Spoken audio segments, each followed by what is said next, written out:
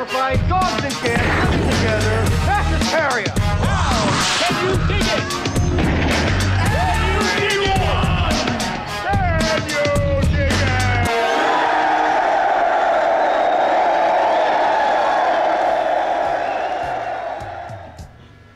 What's up, you perverted Giallo lovers, and welcome back to the Lucid Nightmare. I'm your host, as always, Jay Shatzer. And today, well, I have a fabulously weird Giallo flick lined up for us. It is Lamberto Bava's 1987 just strange ass flick, Delirium Photo of Gioia. And this one is just really off the rails. You just really have to see it for yourself. So let's not waste any more time and get into this oddity. Here is Delirium Photo of Gioia. Delirium, aka Delirium Photo of Gioia, is an unquestionably bizarre and outrageously peculiar late 80s Giallo thriller. Directed by Lamberto Bava and drenched in rich colors and even more lavish eye candy. This obscure horror production takes surreal fright to a new and mind boggling levels, making for a very unorthodox Giallo flick that honestly goes a little bit off the rails dreamlike in absurdity and exceptionally sleazy in all the right ways. Delirium is an odd one to say the least, yet one that will entertain you from beginning to end. The film follows a sultry and extremely busty former hooker turned adult men's magazine tycoon named Gioia. As her magazine, The Pussycat, begins to see some troubled times as her top models begin being brutally murdered one by one, putting her company in the spotlight and herself in the crosshairs of a mad, crazed killer.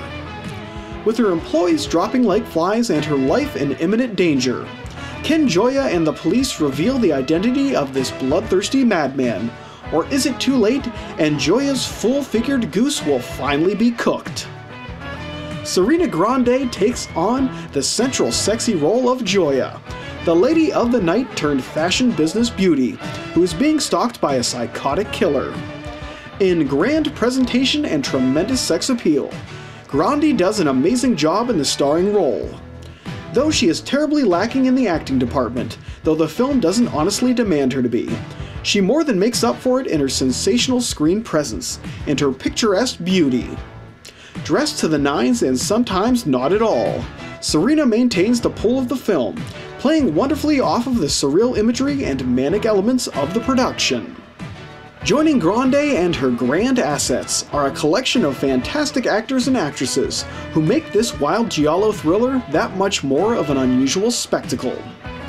The fascinating freaks of this lavish, sex crazed slasher stick are Daria Nicolodi as Evelyn, Gioia's concerned publisher and often voice of reason, Vanni Corbellini as Tony, Gioia's unhinged brother and fashion photographer, who's crumbling under the pressure of the fashion industry. George Eastman as Alex, Gioia's old flame who mysteriously comes back into her life just when shit begins to hit the fan.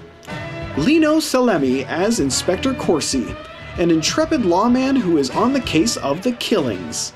And finally, Karl Zinny as Mark, a crippled and pervy little weirdo who lives next door to Gioia. Everyone does a fantastic job in staying in step with the weirdness on screen, and each of their personalities aids fantastically in making this production the oddity that it truly is.